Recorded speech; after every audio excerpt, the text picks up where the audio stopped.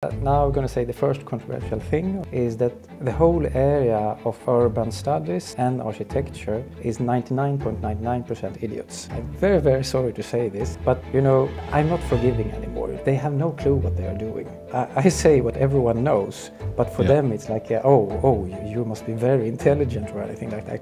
No, I just state the obvious. One thing, I am not ideologically blinded because what you do in, in modernist thinking is you are never ever allowed to look back. You are not allowed to draw experience and wisdom from past people. You must always look ahead. Yeah. So it's very easy for me to be a great urban planner or a great architect It's because I can just open a book and read and they have exact detail, you know, how wide should the streets be, how tall should the buildings be. Yeah. They have already done the job for us. And I'm so open-minded that I can read this and reason, well, they are right because they created the cities that we want to live in.